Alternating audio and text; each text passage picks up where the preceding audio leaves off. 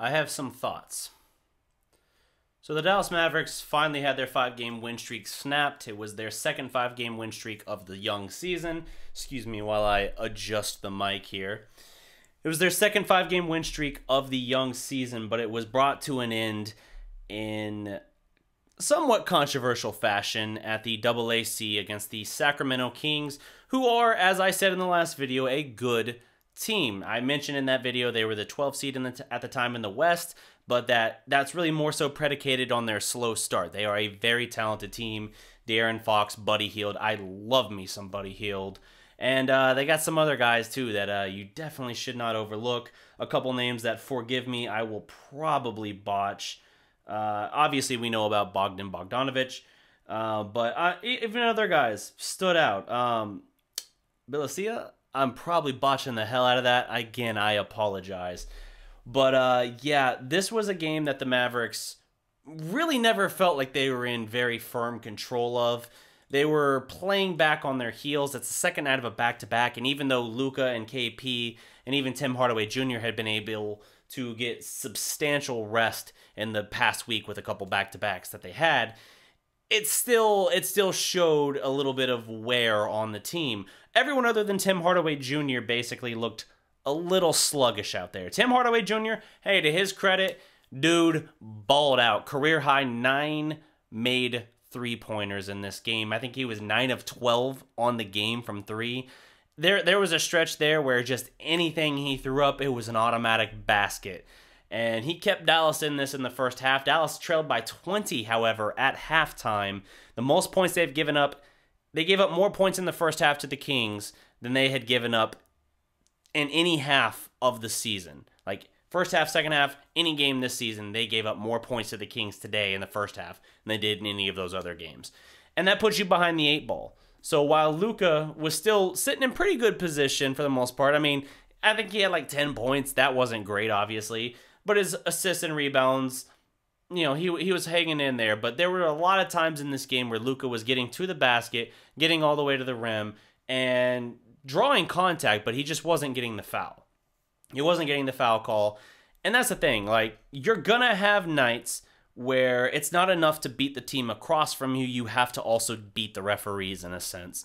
And this was one of those nights for Dallas where the calls just aren't going your way and it bit us. It bit us really bad because Luka gets I mean, throughout the entire first quarter, Luka was screaming at officials, trying to get calls, trying to like yelling at them from blown calls. And you'd see the replay. He's getting clearly slapped on the forearm, on the wrist, whatever. He's drawing contact, getting to the rim, and he's been great this year, shooting about nine free throws a game this year, which is an increase from last year, his rookie year. He's been great getting to the line, and he was doing everything he was supposed to, but the officials were not rewarding him for that effort. And so he was missing some shots because of the contact, not getting to the line. And yes, he was letting the officials know. And he was playing with fire for a while. And basically, I mean, he, he drew that technical, and he could have easily drawn a technical on a couple other instances early in that first half, and thankfully was able to avoid that. I don't know where this team would have been without him eventually. I know he still had a rough game. By Luka standards, this was a rough, rough game. I freely admit that. And yes, you can say, hey, part of it's on the officials for not calling fouls, whatever. He still extended his streak of consecutive games with at least 20 points, five rebounds, five assists, surpassing. He was already tied with Michael Jordan. He has surpassed Michael Jordan for the most since the NBA ABA merger. Consecutive games of 20 points, five rebounds, five assists. That's not nothing. That is complete control over a game for the most part. But even as I say that, I can't ignore the fact Luka took a lot of tough shots in this game. Now he only attempted um, well, shit, shit. He attempted 12 threes. Uh, he attempted 12 three pointers, was 3 of 12 from 3. And yeah, we know Luka has a clutch gene, but Dallas, who goes on a furious comeback to end this game, they go on a 16 2 run to draw within two points. Luka drives at the basket. You've seen this thumbnail probably if you clicked this video. Luka clearly hit on the forearm by Joseph. It's a foul. He should be at the line shooting two. And instead, no call. Uh, the Kings recover the board, and instead of calling a foul even on Dallas, they call they they grant the timeout to the Kings on the inbounds play, or the Kings take it at half court. Dallas expects a ball passed out by half court. Uh, the player I referenced earlier slips back door number 88, gets an easy dunk. That's the game, 110 106. Dallas in this game, like I said, this is this is the game I thought the Timberwolves game was shaping up to be two two games ago. I really thought that was going to be the game where you just looked at the Mavericks and you said, they don't have it tonight. They look a step slow. They look like they've been on a high, that they've accomplished some some great wins and some build built some real momentum here, and this is going to be the game that trips them up. And that wasn't the case in that game. The bench rallied and was able to carry them to where they needed to do. But in this particular case, it wasn't enough as my text shifts. Um, it wasn't quite enough. The bench didn't give the Mavericks nearly, nearly the lift they needed tonight. Barea, four points on two of six shooting in 19 minutes. Curry, 17 minutes, only two points. Justin Jackson, six points on three of seven, 0 of three from three. Maxi, three points on one of five shooting. Brunson, four minutes. That's a really low number for how great he had been playing. 0 of two from the field. And uh, you got Courtney Lee off the bench who went one of one for three points in four minutes or whatever. But that was basically it for the Mavericks. The bench mob that had been so good for them, that carried them in that Minnesota game and and even the Pelicans game, this last one, the reason that you didn't have to put Luka and them back in in the fourth quarter, they were completely MIA, missing in action in this game, and it cost the team. It cost them really, really substantially, and that's a shame. But you know what? It's one loss. The Mavericks have still won 10 out of 12 games. They are still third in the Western Conference at the time of this recording. Uh, I saw the Nuggets lost earlier, so that's going to help them. I know the Clippers moved just a tick above, but uh, even still, you're in pretty good position right now with the Mavericks. Their next game is going to be in Detroit, and uh, you know, it, it, it's not it's not to be taken for granted. This is a game where sometimes when things have been rolling really well, especially on the heels of a 40 plus point victory like you had against the Pelicans and a couple games before that, the Pelicans again uh, sometimes you need to be humbled a little bit. And this is a game where, if you think back to when I talked about that Lakers game in LA, when the Mavericks looked like the more aggressive team, they were playing through contact, they weren't waiting for official whistles to bail them out. And again, I'm not saying the officials didn't blow calls because they most certainly did. What I am saying is in LA, the Mavericks played through it, and it was LA looking for every whistle. It was LA arguing with the officials and protesting and things of that nature. Tonight, it looked more like it was the Mavericks doing that, and the Kings were the ones who were just going about business.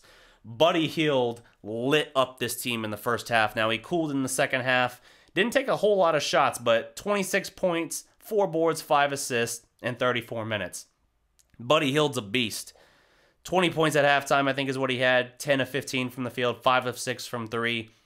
You see, if you watch this channel preseason, why before he got his deal sorted out and it looked like he was really butting heads with the Kings ownership, why I was saying, if you can somehow get your foot in the door of a possible trade there, you freaking do it. I think Buddy Hield is a fantastic player in that regard and would be a great role. Basically, the high we've gotten from Tim Hardaway Jr. since he's been inserted into the starting lineup. And I'm sorry, I still don't think I, I, still think this is a hot streak that at some point will cool. I know this was literally the best game of his season, and so it might seem like the worst time to make that argument. But I think eventually Tim Hardaway Jr. will, as he has throughout his seven seasons or whatever, regress back to the mean and be a, a roughly 34% three point shooter, a 42% field goal shooter overall uh, and a 14 points a game, 15 maybe a game shooter. Not very efficient, kind of middle of the road bench scorer who will aggressively look for a shot, which there's still a role for that. But that that's just my gut feeling. I could be wrong, but that's why in preseason I really wanted me some buddy buckets. But I digress. Um, yeah, uh, Bjelica again. Excuse me for the pronunciation. Thirty points seven boards, four assists, 13 of 18 from the field, four of seven from three. I'll be I'll be frank with you. I don't know a whole lot about this guy. Uh, he looks like a freaking monster in this game, and he absolutely killed us. Based on the Mavs broadcast, it sounds like he kind of played uh, uh, above his head a little bit, like this was the game of not of his life, but certainly of his season. Um, but yeah, th- this was this was one of those games that you really, really you're frustrated with because you you you mount this ridiculous comeback at the end in a game you have no business being in, and sometimes things just don't fall your way. You have the controversial call, and you're not quite able to get over the hump in this game, uh, and you fall in in somewhat controversial fashion. I again, I think there was a foul. I'm not gonna cry about it. I'm not the Houston Rockets. I'm not gonna protest and throw a fit about it. I'm just gonna say, I think it was a missed call. I think it hurt us, but you know what? It's one of 82 games. We have still won 10 out of 12 games overall. This is not going to break by any means break our season. And therefore, I'm going to brush it off and move on. That's what you do when you can actually be an adult about it, unlike the Rockets. So in this game, you have KP play a shockingly high 37 minutes. Like it's the second night of a back to back. I know he was able to go like 17 minutes or 18 minutes the other night against the Pelicans, but that number really stood out to me. Now, he was somewhat effective in that 13 points, 8 boards, 1 block, 1 assist, 6 of 12 from the field, including a big, big bucket with about 38 seconds left that cut the lead to 2 points. KP had a big shot for Dallas here. One of his best biggest shots of the uh, of this young season uh, as his career as a Maverick is concerned. And uh, I hate that we weren't able to get it across the finish line because it felt like we had all the momentum in the world. Tim Hardaway Jr., I mentioned it, 10 of 13 from the field, 9 of 12 overall from three. Uh, Dodo had himself a nice game, 13 and 8, 5 of 9 from the field. He missed a three late that could have that could have given the Mavericks the lead. Luka missed a couple step back threes. Luka had the controversial call at the end. That was really a no call. Um, it's not often that you're going to have Luka miss that many opportunities to deliver you a win. It's not often that you're going to get a great look, even for a Dorian Finney Smith, who's not a great three point shooter. He's still shooting about 33, 34% this year. Again, that's based on a couple games ago. I need to refresh and revisit that number and see what it actually is today. Uh, but he's been much better this this year from three it's not often you're going to have that many opportunities and just outright miss them. It's not often that your bench that's usually in the top 3 in scoring in the in the top 5 at least of real plus minus is going to fail you this miserably where they mount about 20 points instead of 39 points like they average. That all was significant in this game. The Kings shot 52% from the field, the Mavericks 48%. Three point percentage, pretty even 38% for the Kings, 39% for the Mavericks. And uh, the Mavericks shot 10 more of them, but they made four more. So kind of a give and take there. Uh, free throws, pathetically low for both teams. The Mavericks 7 of 8 from the line for 88%. The Kings 9 of 11 for 82%. There were a million fouls that were not called in this game. The Mavericks, again, eight turnover, or excuse me, 12 turnovers, still below their season average, but the Kings only had eight. So the Kings win that as well. Complete push on assists at 24 apiece. Mavericks out rebounded the Kings 40 to 35, including 10 offensive boards compared to 7. Both teams had a block. Mavericks had fewer fouls. And of course, I mentioned earlier, Luka had his technical. So it's a frustrating game, but you know what? It happens. I said two games ago with the King, or excuse me, with the Timberwolves Sometimes you're just in a situation where this happens and you just have to deal with it. Sometimes it's just not your night and you have to move on and you have to prepare for the next game. And now you're going to go to Detroit to play the Pistons. Blake Griffin is still playing very good basketball there. They have pieces. Andre Drummond obviously is very good. That's another name, a bigger name that the Mavericks get tied to a lot in terms of speculation for trades. Yes, you would love to have a guy that can get you 23 rebounds, obviously. But it is what it is. You're just going to have to figure it out. For what it's worth, I don't think the Mavericks are going to land a guy like that because I think whatever trades they do make, and I do think they will make a trade, whatever trades they do make, I don't think they're going to rock the boat in terms of chemistry because we've done this before and we ruined everything in 2014 15 with the Rondo trade. We wrecked what was a historically good offense. in that regard with Monta Ellis, with Dirk, with Tyson Chandler, with Chandler Parsons, and Jameer Nelson as your point guard.